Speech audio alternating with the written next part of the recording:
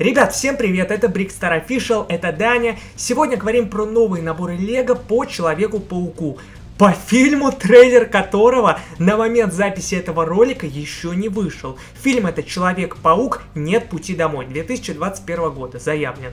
Смотрите, ребята, эти и другие наборы можно будет вживую посмотреть в моем музее Лего в самом центре Москвы на Трубной площади. Это мой грандиозный проект, узнать о котором можно в любой момент, зайдя на этот канал и посмотрев ролики, которые выходят сейчас, про это помещение, про ремонт, про то, как там все будет располагаться. Ребят, очень интересный проект, нужна ваша поддержка. Всех жду, если еще не знали, что у меня есть музей, планирующийся открыться в августе месяце этого года.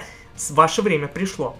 Погнали по наборам, ребята. Первый набор 4+, это Juniors, Человек-паук против дронов Мистерию. 20 евро будет стоить набор, 73 детали. Да, все сеты ждем 1 октября продажи. Что из интересного в наборе? Ну, Человек-паук есть. Здесь костюм черный с э, красным. Никакого синего, никакого темно-синего, просто черный. Смотрится, кстати, неплохо. Ник Фьюри появится, плюс Мистерио.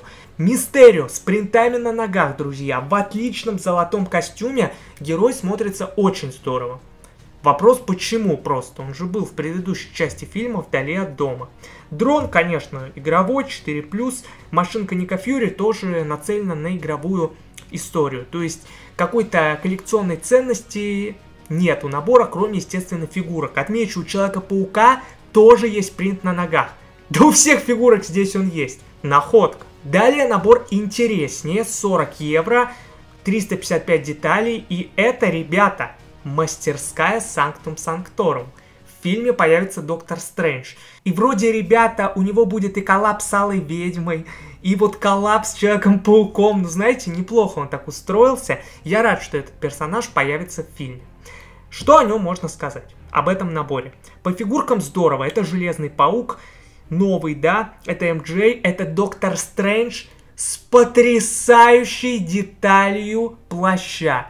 Если в Бэтмене в коллекционках можно было еще докапываться, мол, плащ какой-то большой, странный, то тут все идеально. Он очень красивый, он очень красивый и идеально пошел герою. Хочу в коллекцию фигурку, хочу выставить его в музей. Плюс Вонг есть в комплекте.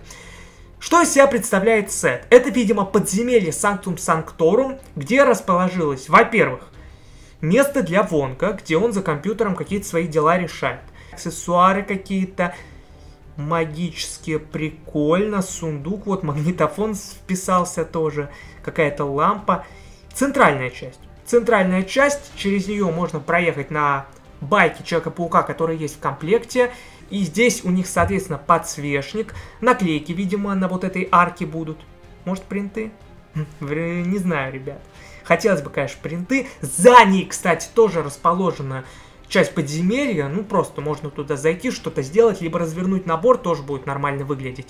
Ну и справа место для отдыха, плюс для ремонта чего-либо. Ну, видимо, МД тоже, знаете, участвует во всех этих делах, поэтому ее и пустили в подземелье. Ну и плюс вот это странное существо, которому будет противостоять Доктор Стрэндж Человеком-пауком и которая схватила Вонга. Выглядит занятно, похоже на какого-то монстра Лавкрафта или что-то такое, да? Только уменьшенного. Необычно, с наклейкой он будет. Ребят, классные фигурки, опять же, в плане фигурок каст хорош. Третий набор с, опять же, дуэлью с дроном. Друзья, здесь стервятник. То есть в первом наборе у нас, внимание, Мистерио, тут стервятник. Это злодей из э, первой части Человека-паука. 20 евро, 198 деталей. По фигуркам тут золотой Человек-паук. Что-то подобное я нашел вот в игре Человек-паук э, на PlayStation 4. Это был какой-то костюм Анти-Ок, вот так он назывался. И вроде его аналогов написано, что в комиксах не было. Пишите, если точнее меня знаете эту информацию. Но то, что фигурка мне, как фанату Золотого, нравится, это факт. У него цвета, как и у Брикстар, ребят, черный с золотым. Классно. Также по фигуркам стервятник. Тут мне зашла фигурка тоже. Не считая отсутствия принтов на ногах, очень прикольно шлем реализован.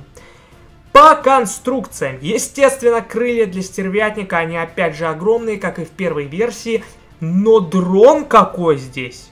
Зачетный. Вот главное, я думал, ну дрон меня не впечатлит точно. А тут такой мощный, прям похож По размерам, вы знаете, на существующие эти маленькие квадрокоптеры, да, тоже у него есть четыре лопасти. Центральная часть, куда можно будет поместить, во-первых, фигурку Человека-паука, во-вторых, его каких-то небольших помощников механических.